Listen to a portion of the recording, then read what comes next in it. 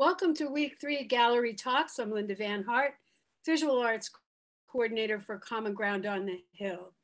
It's my pleasure to introduce you to four artists who deal with upcycling, decorative, and wearable arts.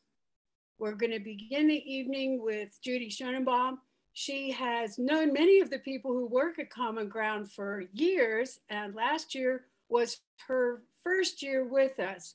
She does a variety of arts, including some two-dimensional things like mixed media collage, but she's a specialist in upcycling because she really is uh, dedicated to the idea that we need to use what most people would consider waste more creatively to benefit our planet. Judy, let's see what you have tonight. Okay. Yes, um the recycling is my is the religion that I've settled on after being brought up in other stuff. Um, so, and we had a wonderful class this week of uh, teaching different techniques. Um, I, uh, where I lived before in a small town, uh, it was known that people would follow me down the street with bags of old clothes and say, I've got something for you to make a purse out of. and I would do it. Um, so I'll show you uh, what we, we did this week. We did um, Amish knotting, crochet, um, uh, cardboard weaving, and um, tomorrow we're going to do twining, rug twining. And it was all from recycled stuff, plastic bags, and the first picture, the first slide, will show you, this is all the stuff that I make things out of. So it's, you can see it's plastic bags and it's all kinds of uh, fabrics. And these are uh, fairly thin because these were I was using for um, for hats. And I can show you the hats. So these are some examples. I can go back to go back to me now. Does this go back and forth? Or do I do? Okay. So this is a little baby hat. And it's all out of scrap stuff. Um, and for the baby hats, I don't put anything plastic in any of the baby wear. So this is all cotton and baby can roll it up or down depending on the weather. And the great thing about this too is that if uh, the baby gets big, you soak this in warm water and you just stretch it and stretch it, and you could probably use this hat for a couple years. Um, this is my beret. It has every color I wear. And uh, so when I'm having a bad hair day, I just put this on. And then this is another beret, just, you know, all different colors. So that's some of the wearable stuff. And I've also made big sun hats and um, hat bands, headbands. In fact, the next slide you can put on and that will show, I think it has this, yeah, oh, so this is cardboard weaving. This is what we did the first day. And um, this is the little looms. Just make out of cardboard, very easy. And last year when I when I was there in person, I brought a whole bunch of stuff with me and people also brought their other things. But this year we just tried to use things that people would have around the house. So this is just a little cardboard loom and you can see it's got the beginnings of things. And people made little purses. They had them warped on both sides so you can warp it all the way around. Okay, and the next one, the next slide is crocheting. And this was um, this was a bag that I did um, when during Occupy LA, during Occupy all over the country years ago, a few years ago. So um, we had an encampment in front of the um, City Hall of LA. And so we had a whole tent full of people cutting and crocheting and everything. And a friend of mine made that that little um, tag. Sorry for jumping up and down, but I, I do jump up and down. It says 99% um, created by the Solidarity Sewing and Social Club. And we did a lot of these. And then the police came and cleared us all out. So that was the end of that. But, um, and this was all old, this is all old t-shirts. T-shirts are really good for this kind of thing. Okay, and the next one. And this is also crochet. Oops, let's go back one. That's a, a hat band. It's my brother-in-law's hat, and uh, he was craving a band, so I made that for him. He's in Baltimore. And um, I also made these hat bands with um, wire in it so that you can, hold on.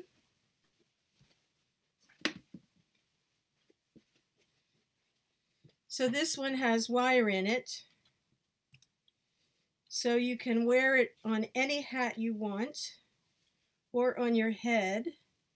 And you can make it into a little floral thing or wrap it in your ponytail or however you want to do it. And I had one young woman that bought bought one and she um, she wrapped it around her arm and she just wore it around her arm like a snake. So that was pretty good. And I'll show you a couple other crochet things. You can go, oh yeah, good. Okay, so this is this is going to be a big bolster. And this is all um, just um, all kinds of old clothes. Some of my very favorite ex-husband's shirts. And this I made out of, um, is crocheted out of videotape.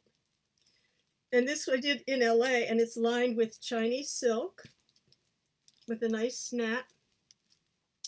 And um, and I made this when I was living in LA, and I thought for the Academy Awards, everybody should make a, a bag out of their movies and wear them to the uh, parties. Great idea.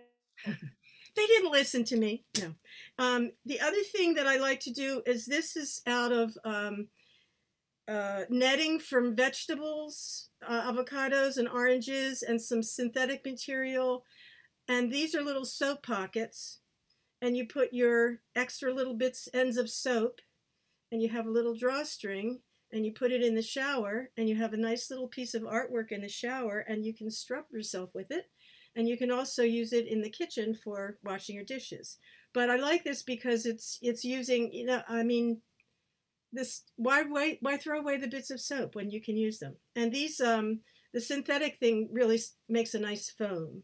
So that's good. And then somebody else told me that you can use it as a tooth fairy bag, which is also very good. I told that to one of my students and she said her 3-year-old daughter will say there's no tooth fairy. So you can hang it on the Christmas tree for a little gift bag too. Um, let's see what else. So that's for the crochet stuff. So you can send the, you can do the next slide. And now this, oh, and go back one.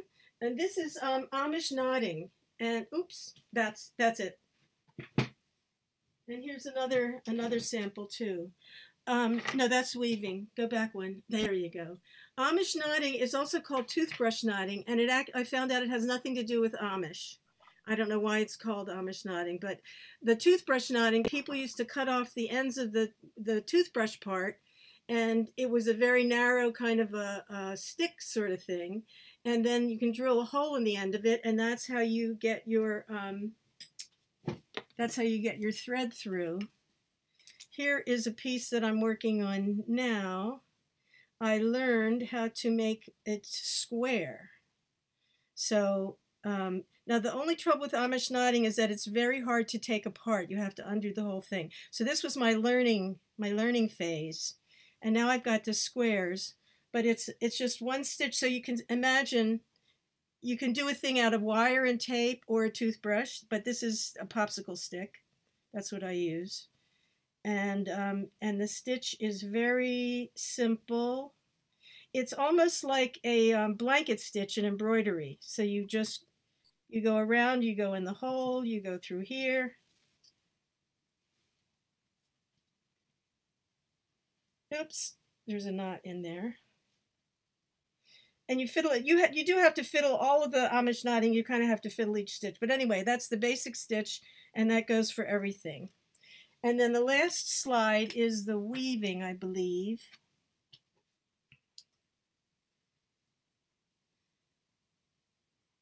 And that is this piece that's over here. And this is all made of seams that I cut out from all the other clothes that I cut up to make stuff out of. And I couldn't throw the seams away because I have a problem um, throwing these things away. But it was also um, I just I just like it. The seams are a little too heavy to make into the hats. You need something sort of soft and flexible for the hats. So I just save the seams and then I use it for this weaving, which I just I just did it on a um, a painting stretcher, and uh, just uh, warped it with uh, synthetic threads. So so this is what we have been doing all week, and I have to say people are really. It's not easy. All of these things they're easy once you get going, but the first two rows of anything, I don't know if anybody's a knitter or a crocheter, but if you get past the first two rows, you're fine. But the first two rows are very difficult because you have to have exactly the right tension. So um, I have a few minutes. I just wanted to show you quickly some of the other things I do. Um, I make these earrings out of collage paper. They're all different and they're very lightweight, so it doesn't hurt your ears. But um, I started out doing um, doing pastels. I was a picture framer, and then when I came to LA, I took my mat boards down to the beach and started doing pastels. This is a, giclée print of one of the pastels. This is actually in um, uh, in the Sierras. And then this is uh, a picture of, was a pastel, and this was in uh, the Memory Garden, the Shakespeare Garden at in uh, Ash, Asheville, Ashland, Oregon. And this is a giclée. These are all giclée prints. And if anybody is admiring an original piece of artwork and you can't afford it or it's not the right size, have the artist make a giclée print because you can still, the artist will still get a nice bit of money, but you'll have a print any size that you want. This is um, is a giclée of a piece on canvas. This was the view outside my cabin when I lived in the mountains for many years. And um, and then the recession came and I had to move. Okay, and now the next thing is, and this was a seascape. This is pastel. This is the original. And um, I, I did a, all the artwork for a law office in Long Beach, and they liked this piece. It was all seascapes. It was right on the water. And they made this, they blew this up to a giclée. It was five feet long, and it looked fantastic. Pastel is a really good giclée medium. And I'll just show you one other thing.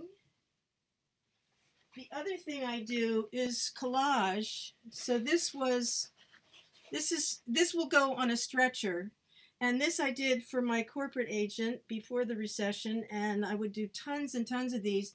And I had it so you could hang it vertical or horizontal, and I would do series of these, the same form. And a lot of offices liked it because they could hang it in hallways or stairways or all kinds of stuff like that. This is another collage. How am I doing on time? Am I okay? Okay, good. Um, this is a little uh, a mirror from IKEA and I don't want it to glare too much. Um, so I collage this and I put little feet on the back so you can hang it and a hook.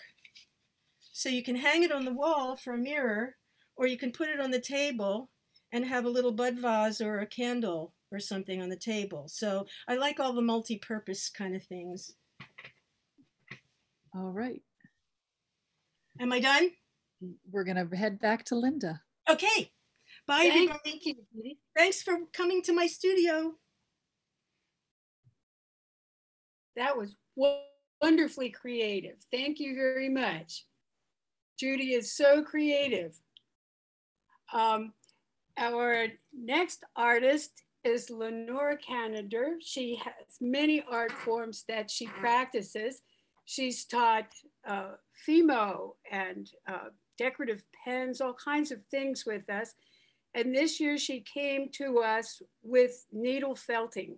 Uh, and she's doing landscapes with that. So I'm really interested to see what she and hear what her students are doing. So um, I'm I have one of my paintings behind behind me. Uh, it's the only one I framed. I was planning on framing all of them when we were going to be on site, but I put that as a lower priority when we moved to Zoom. Uh, I started needle felting actually only a year ago, less than a year ago. Uh, no, a year. It was a year. It was less than a year from when I submitted the proposal. So a year and a half ago. And I started needle felting because I was trying to do something else. And like Judy, I'm very big in upcycling. And I had this blanket and it was a pink blanket. You can't really see the pink very much through it now. Um, and I was trying to learn to do eco printing of leaves because those of you who know me know that ginkgo is my totem. Uh, this is one of my polymer ginkgo necklaces. Um, and um, I saw these beautiful ginkgo prints.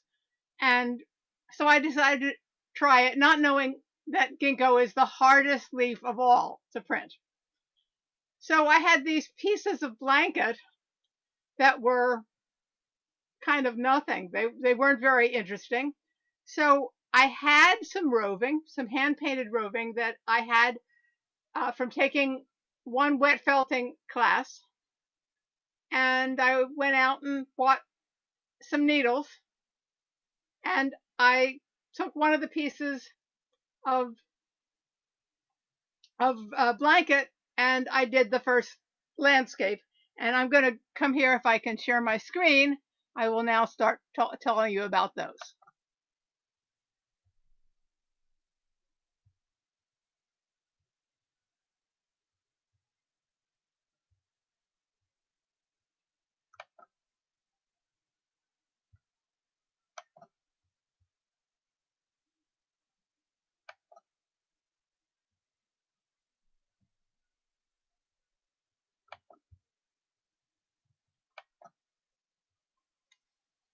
Okay, so I just had a header, but here is, where is it? Try again.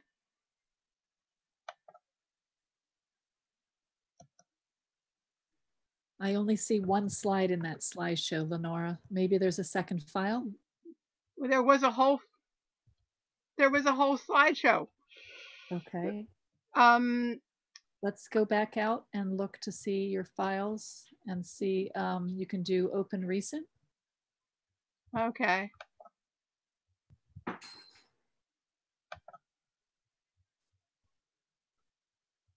There you go. There, There I, they are. okay. So we'll come here and see the first. You can share the slideshow from the beginning there. Yep. Now, okay. There we are. So that was the very first uh, needle felted painting I did. And the tree were snippets of alpaca that I had from unraveling a poncho that my sister had brought me from Bolivia when she came back from the Peace Corps in 1968 that had, had seen better days. And I made a bunch of alpaca socks with it, but there were these little pieces that were too small to knit. So they became this. And I posted it on Facebook, and a hundred people said, Wow, that's wonderful. You have to do more of them. So I continued to do more of them. Um, I had been in Iceland, and there are some incredible rocks at a place called Vik on the south coast of Iceland. And well, I didn't have any black or dark brown or anything in the painted roving that I had, but I have a friend who has sheep and she raises sheep for meat. Uh, she raises lambs for meat. So she shears the moms, but she doesn't do anything with the wool. It goes on her compost pile. So I rescued it from the compost pile and I used the dark sheep color to make the rocks. And I had some sunsetty colors in the painted roving that were left, but I didn't have enough colors. So I started to learn how to dye. And I started to dye her white sheep wool. And ever since then, I've been working on using her wool. Um, so I dyed nice autumn colors, and that's also a lot of alpaca in there. That's an alpaca grove. And all these first pieces are of the order of 8 by 10, a little more or a little less, because they were the size of the pieces of blanket that I had tried to do the eco prints on. And there. And then I decided to go in a slightly different direction. I had been in California and seen the desert in bloom. And so I did this one of the desert in bloom and I submitted it to the local senior art show and it won first prize in the craft category. So I was, that's the first prize I've ever won for anything. So I decided that maybe I had found my new medium. Not that I don't, have stopped using polymer. So I started going bigger. And um, this one is 19 by 25. And it takes more than four times, five times, about five times as long to do a 19 by 25 as it does to do one that's 8 by 10 because you've got much more uh, territory and you've got you need to have a lot more wool. Um, in order to do that, I decided I needed a carter and I found a beautiful looking carter. Well, it was in England, so I went to England and bought a carter and went to the Shrewsbury Folk Festival and had a, a, a special birthday. It was an important birthday uh, at a farm to table restaurant. And so I have a little detail of this one so you can see one of the things I like about needle felting is the relief aspect, that it's not, um, uh, it, it's not all flat. Uh, wet felting tends to be much flatter. And then the last one I finished uh, is uh, mountain birches, and that one is 16 by 21. And I have some detail of the birch as well. And right now I'm working on one that's um, even bigger. Uh, I'm going to stop the share because that's the end of the share, um, which I've been working on with my students. But I had to, after seeing Judith's presentation, I had to show her some upcycling that I did in, um, as an experiment with the class today. Um, this is threads and snippets from a silk blouse that I got in a rummage sale. And I found that they felt just fine, uh, fine too. So I'm, I think that's it for me. Thank you very much, Lenora. It's exciting that you found a, a new passion for your composition. You've always had your way with color. And it's fun to see you moving from the polymer with color into the felt with such brilliant color. Uh, Keith also uses quite a bit of color. He had a very successful week last week doing the split woven baskets. And this week he's doing the shaker seat weaving, which also incorporates can incorporate rather vivid colors. Uh, Keith Taylor.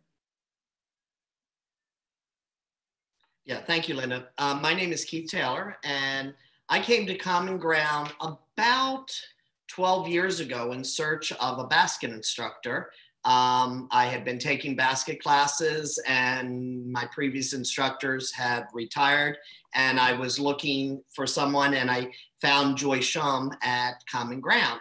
And one of the classes she offered was seat weaving, which was a natural transition from the basket making because it was all the same weaves and patterns that we did in basketry, but now we could do it on a piece of furniture. So we started with a basic frame, either a stool or a chair. And then you use your shaker tape, which is a cotton uh, ribbon that it either comes in 5 eighths or one inch. Um, I tend to like the, the smaller because you can do more with the pattern, but I've found ways to incorporate both of those. So these are all continuous weaves, which is just like in um, basket making. It starts and you just keep going around and around. This is just a, a, twill pattern, a two over two. Um, here's another one. This is made with ribbon. Uh, the red is the ribbon. And this is the project that I worked with with my student this week. I was using up some scraps, so I didn't have enough of any one color to do the whole chair. So then, or stool, so I had to uh, come up with a pattern that would use the scraps that I had. So we can also put those on a chair. This chair here is tone on tone, and you can see the way the light is hitting it, how it makes the diamond pattern. So you're gonna to want to have an odd number so that you can have the center of the chair and the pattern of the diamond on there. There are lots of um, patterns that you can work out. So here is one that's uh, over three, under two, over one, under one, and then it repeats. And that's the pattern that you get from that. One of the things that I worked on also was a chair with my student. And I tried a technique that is called a chase weave, where I actually had two pieces going around at the same time, the blue and the tan. And so when I finished going uh, east west or side to side, it just looked like a striped chair. I did the same thing going north to south, and it created this um, this chevron pattern in the in the chair and it was kind of like an accident. And then i could see it was hard for me to figure it out. My uh, i kept seeing these mistakes in there but then once the pattern started to jump out it was easy to figure out what i needed to get, go over or under. Now shaker tape is not the only thing that you can weave. A couple years ago when i took the class I decided that my project was going to be on seat weaving and not only just with the shaker tape, which you just seen, but with all sorts of um, other materials. So this is just a basket uh, reed that I use. This is a half inch basket weave, and then it was stained. Whereas this one here, same, but this is just in the natural. I've also done some with cane, and this is a twill pattern with the cane here. And this is fine, and this is super fine. And the chair, the rocker that you see back here, this was actually Linda's grandfather's chair. And this is what we call common cane. This is the widest of the cane. And it's just woven over under, just like you would with the shaker tape. Um, I also did rush, and this is a rush seat here, and I happen to have some of this paper um, cording that people were using to un, unwrap and they would make uh, wreaths and stuff out of it. And so I was able to incorporate the color because as Linda mentioned, I, I like color. I don't like things to be just plain. So even when I finished this stool, I went back with my color of um, reed and wove this in there after the fact, after the stool was all done. Then I applied another layer to it. So when I was with Joyce, oh wait, here's another, here's another stool that, this is a um, mission style that I got at a yard sale. And I put the seat on there, that's a twill. Um, unfortunately, one of the things got broke in the move, but it'll be another project that I can do at another time. So I talked to Joyce, and you know, it, it was her business. This is just my passion. It's just what I like to do when I'm when I have time on my hands. And I started out with this um, stool, and we were just talking, and I said, Joyce, do you ever just get time to experiment and to play with this, or is it always piecemeal? You need to hurry up and make something because you need to sell it. It's a business, and it's not. Um, like like a, a passion where you have time to play. And so we started out. I, well, I started out saying, well, this is what I would do, Joyce. I would like to try a, a start and a stop. So everything you saw up to this point was continuous, meaning I had one long piece and I just wrapped it around, and then we went the other way. But this piece that I have here, here in front of me, this is a start and a stop. So each row just goes around and stops. And then after I had the wide, the one inch going north, south, and east and west, then I took the 5 eighths and went over top of it to give it that texture, the dimension, and add to the pattern. So as I started out describing this project to Joyce, I was saying I, I, I, I would like to do this. I would like to do that. And then I said, and if we could do this, and if we could do that, and before I knew it, I had Joyce starting it and I was finishing it. And so this is what I call my we stool because we did it together. And I've seen her do a couple of those since then.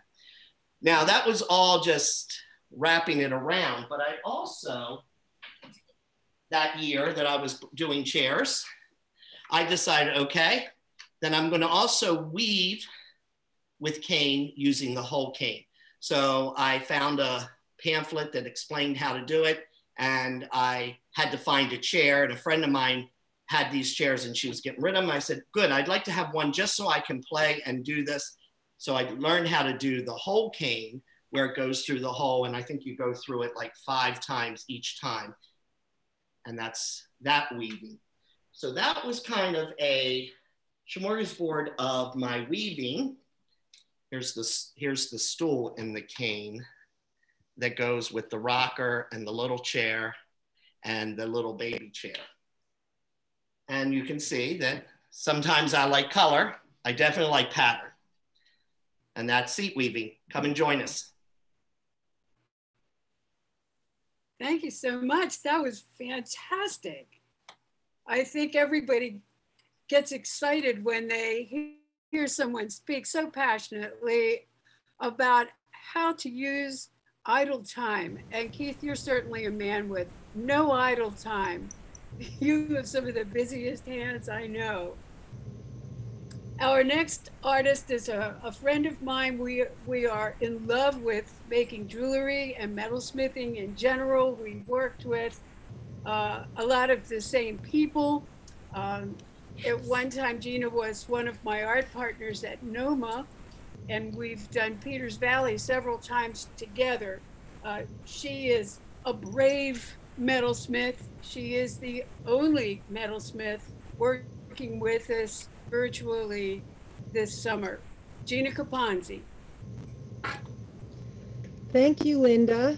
Um, I just wanted to say that um, this is my first year teaching at Common Ground, and tonight I'm going to talk about diminished diameter forging.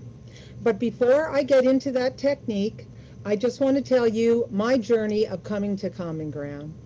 So about 10 years ago, I was introduced to this technique by Dawn Arterburn Cooney, who was a longtime apprentice of Linda Van Hart, and I believe Linda's only apprentice.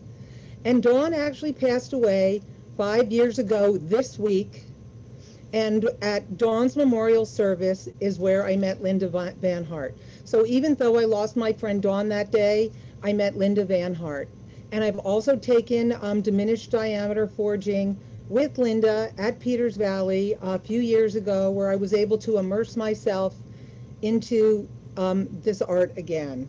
Um, the tools that I use are mainly a rolling mill and a forging hammer.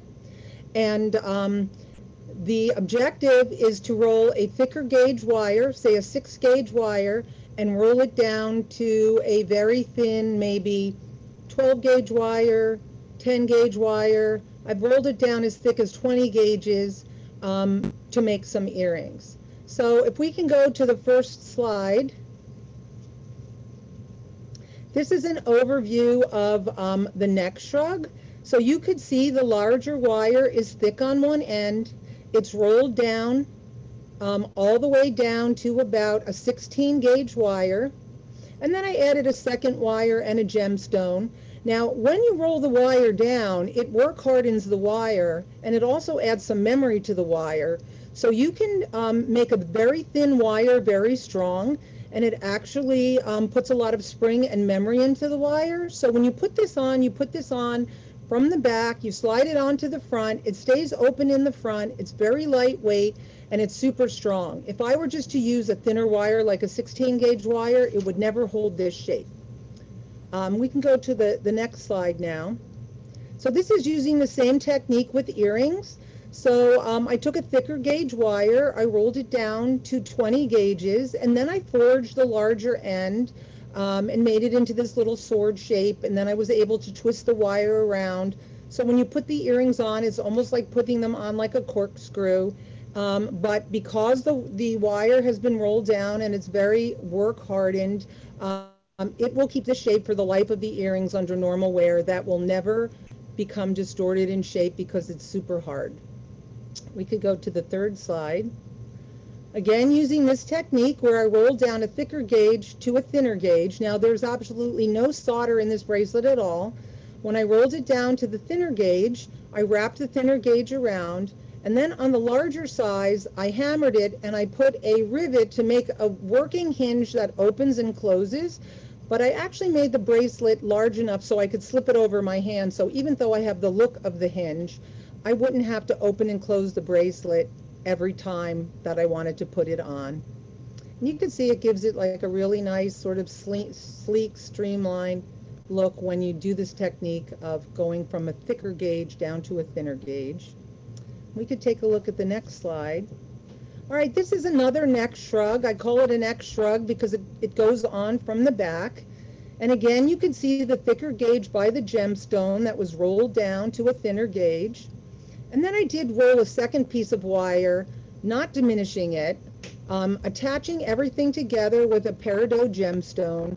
And then on the other side, I attached the two pieces together with another smaller gemstone and twisting the wire together to give me a lot of spring and memory. So I just pull this on and pull it off and it'll never go out of shape.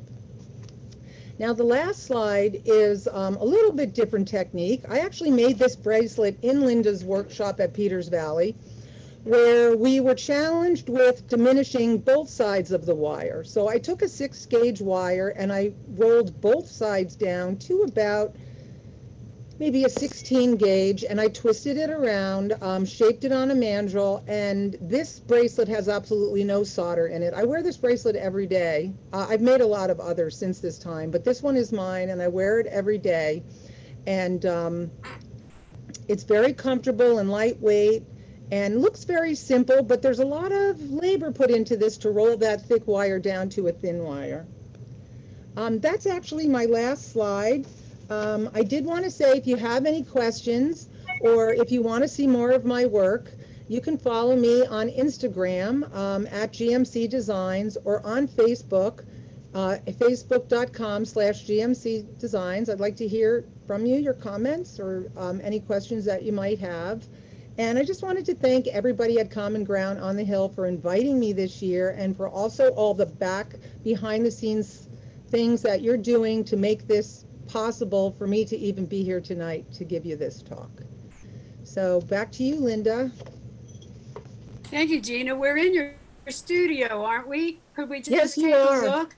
My messy studio. You, that's all right. I know you're teaching from it. Are are you working with a webcam as I well as your Zoom program? I don't your have. laptop. I, I, I do have a webcam that I can move around my studio. I could turn some lights on here and show it to you.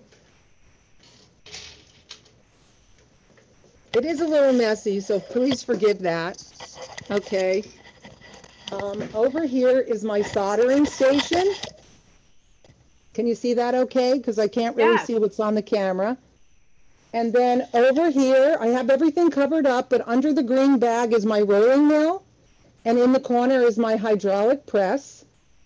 And I have my buffing wheel over here. And if we turn around, this is where a lot of the magic happens, right here at my mom's old hutch, which I started out with this, and I love to use this. My drill press.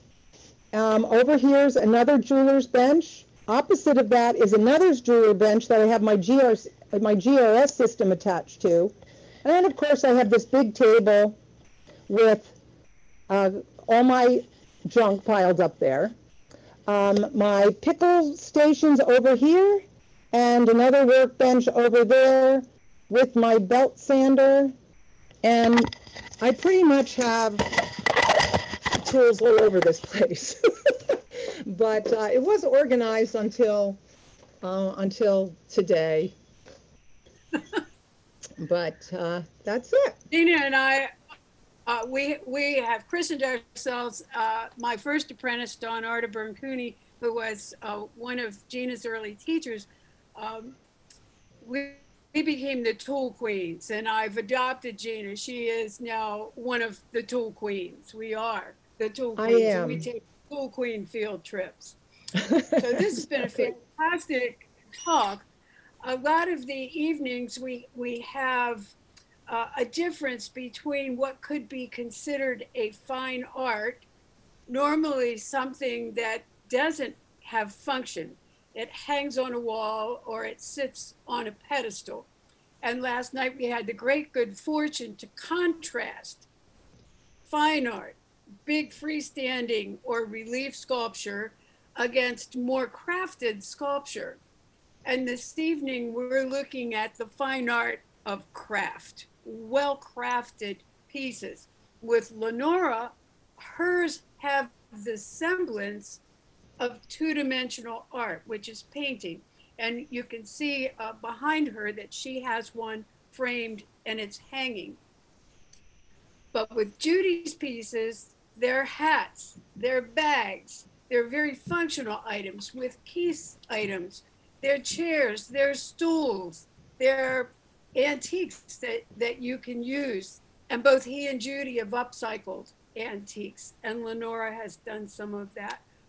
With Gina's hit or miss, of course, what she's doing is wearable and functional. Um, but sometimes the question of value comes into whether it's a fine art or craft because she's using precious metals. Anybody have comments on craftsmanship, the fine art versus the craft? That's always the question, and and I've come to realize uh, in art school, you know, don't ever say you do decorative artwork. That's like a big no-no. That's not the real thing. But especially since the quarantine, I've become more enamored with things that people actually live with, so that it's functional and that it's decorative and it's you know, who's going to go to a gallery and get something right now? You can get stuff online, and a lot of people are doing it, but everybody's looking at home. And and a lot of the stuff that I was making is from my studies at the Shelburne Museum in, in Vermont, which was a craft and folk art museum. And I studied it, didn't really absorb all of it, but as I'm getting older, I'm realizing the value of all the crafts that people made to just furnish their lives. And it, as far as I'm concerned, it's just as important as the fine art gallery stuff, which I like to sell too. But you know, that's it. I don't I don't sell any of my uh, craft. I feel like they're all uh, have a, a purpose. They're utilitarian, but also they I try to make them beautiful and match the decor of my home so that they add to the beauty of the house. So that's why I like to use the colors and the patterns that you see, and you see a lot of blue in my um, my stools and my chairs. Could we see the back of the stool? I want to see the, the the underneath. back of of this stool, well, Yeah. this this actually has an underside. This just um, it wrapped around. It comes over, twist, wraps around, and comes back up. So Oh. even though it is continuous, it doesn't have an underside like this stool. Fascinating. So Gorgeous. this stool is the same on either side because it just goes right on around and continues. Right. That Right. Beautiful. Well, I thought it was really interesting uh, to see uh, Gina's uh, pieces that that are for neck neck pieces because I've gone the same direction. you know, all of my neck pieces go around from the back, but I've incorporated magnets as well, oh. so that they can fasten in different ways depending on what the neckline is of the that you're wearing and they're all reversible. Wow, that's nice. And Lenora, I actually made a necklace very similar to that in metal with ginkgo leaves. Well, So, lots of people love ginkgo. yes. Gina, I had a question. What Well, when you are you when you say you ahead, roll Judy. metal, what does that mean? I'm sorry, can you repeat that? When you say you roll the metal, what does that mean? Yes. So I have a rolling mill that actually reduces the diameter of the metal from, I usually start with about a six gauge and I can roll it all the way down to a 20 gauge. So um, there's different slots on the rolling mill and I can keep reducing it, but instead of reducing the whole piece, I reduce a little bit at the time. So at the end, I'm, I wind up with a tapered piece, larger on one side and smaller on the other side. And that's how I get that um, able to wrap things around. It's all one piece. For someone looking at it, they might think it's multiple pieces, but it's really just one piece, just all diminished with a hammer and a rolling mill. Beautiful. One of my favorite techniques. It's not Yes. easy. It's not e- easy to do that. So, with between the upcycled ingredients that people run down the sidewalk and hand to Judy, and the, the, right. the silver gemstones that Gina uses, we've got a very wide range in the price of materials of construction. Uh, how do you feel that influences the price of the work if you're actually going to offer it for sale or, or its value? You talking to me? Um, Judy, I know you market your work and so does Gina, so perhaps the two of you could speak to that. well, I The don't think you ever really get your value. It's really hard to get your value on craft work because it could take you five times longer than a large landscape, which people will give you more money for a large landscape. And also the value of small pieces, which are so precious, and you can't charge as much for a small piece as you can for a large piece. There was um I, I heard about this time bank situation where people they just trade time for time, hours for hours. So if you want somebody to give you brain surgery or you want somebody to paint your porch, but everybody's hours are equal. And that group had a gallery and everything was marked by the hours. So if somebody wanted to buy whatever, you put down how many hours it took you and they had to trade hours with you. So that everybody's time was equal. But that's not the real world, unfortunately. Yeah, and um, just to answer your question, Linda, about the precious metals. So, you know, when you're working with silver and you're working with gold and you're working with gemstones, before I even get started, my piece could be several hundred dollars. I could pay over a hundred dollars just for a gemstone. And then when you add in all the hours, um, it really does start adding up. So I sometimes um, charge less for my labor to try to make the pieces more affordable, but um, that's just sort of the nature of it. I mean, I, a piece could a piece could start out at several hundred dollars before I've even done anything to it. So um, it I, gets I pricey. hear you.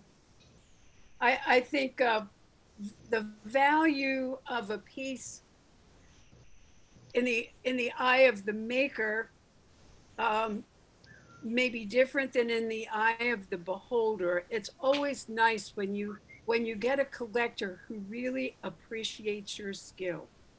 I have people that say to me, "Wow, I really like that piece. It's an awful lot of money. How long did it take you to make that piece?" And I have to say, all my life. Yes.